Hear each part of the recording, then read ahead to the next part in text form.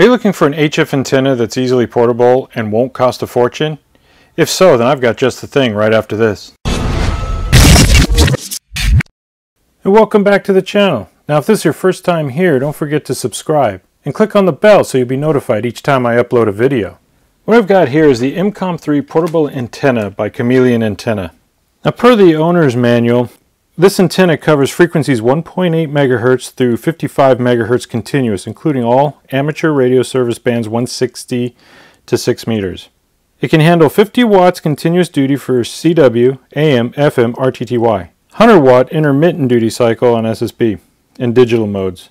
SWR is subject to frequency and configuration, but typically is less than 2.0 to 1. Sometimes an antenna tuner or coupler may be required. The length is 73 feet and weighs about 1 pound. The main antenna configurations are inverted L sloping wire, which is a medium to long range antenna, the end-fed inverted V, which is a medium range antenna, and the horizontal end-fed slash NVIS, which is a short to medium range antenna. The EMCOMM III consists of three main parts.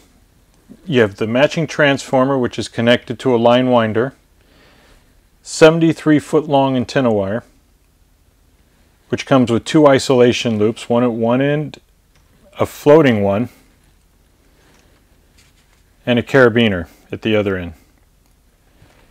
And the 25 foot counterpoise, which also has an isolation loop attached to one end. Three connection points on the matching transformer. One is for the antenna, the SO239, and the part for the counterpoise. The line winder also has some holes drilled into it to help in setting up the antenna.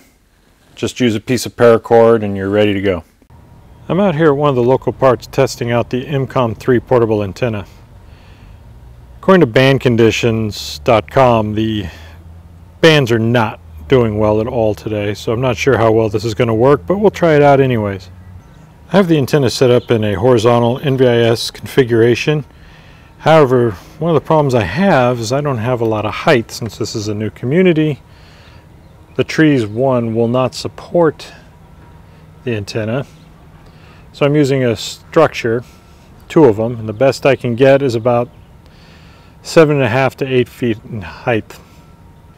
And I'm going to try an inverted V and see how well we do. Got it on a painter's pole. At the center is about 15 feet in the air, which is twice what I had before on the NVIS setup, so hopefully this will work. Well, unfortunately, I wasn't able to make any contacts, but I do have high hopes for this antenna. I think it's going to work great once the bands start getting a little better as time goes on. Plus, if I can get this up to the 25 feet that's suggested in the owner's manual, I think it'll perform very well. There's a few accessories recommended by Chameleon Antenna. One is the counterpoise kit. It contains four 25-foot radials wrapped around plastic wire winders and comes with four steel tent stakes. Another is the coax cable assembly. It's 50 feet of RG58 with an integrated RFI choke. This is highly recommended accessory if you're not using an RFI choke. Please check out some of these other videos. And if you have any comments, questions, or suggestions, please leave them below. And don't forget to subscribe. Greatly appreciate you taking the time to watch.